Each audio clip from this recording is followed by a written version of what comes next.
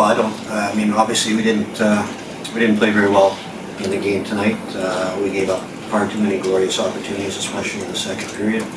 And uh, when you give up two on ones, uh, like we did at that point in time, you're going to pay the price for it against good teams. And uh, you know that was the case tonight. And at that point, the game was over. Vielen Dank, er hat gesagt, äh, es wäre offensichtlich, dass seine Mannschaft nicht so gut gespielt hätte. Wir hätten zu viele Chancen und Tore untergegeben, zu viele äh, Überzahlangriffe der DG zugelassen und gegen gute Mannschaften muss man dann einen Preis bezahlen. Mike, dein Statement. Gut, ich muss sagen, ähm, wir haben darüber gesprochen, ähm, über die Woche, dass am meisten das erste Spiel nach einer Pause nicht einfach ist, in einen Rhythmus zu finden. Und das müssen wir einfach spielen und, äh, und geradlinig. Und das haben die Jungs ziemlich gut umgesetzt.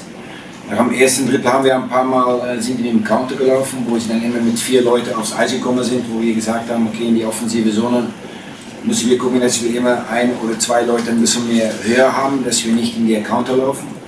Und dann ab zweiten Drittel, was das Unterschied war, was gerade Rob auch gesagt hat, wir haben die Zweikämpfe gewonnen, an die Bahn gefahren, auch defensiv, wodurch wir dann auch die Chance kreiert haben, äh, um die Tore zu schießen, wo das 2-1 war oder, oder 3-1. Äh, und äh, das haben die Jungs äh, gut gemacht. Und am Ende natürlich ist es trotzdem nur, nur ein Sieg, aber es sind wichtige Punkte und wir werden uns vorbereiten jetzt auf Sonntag.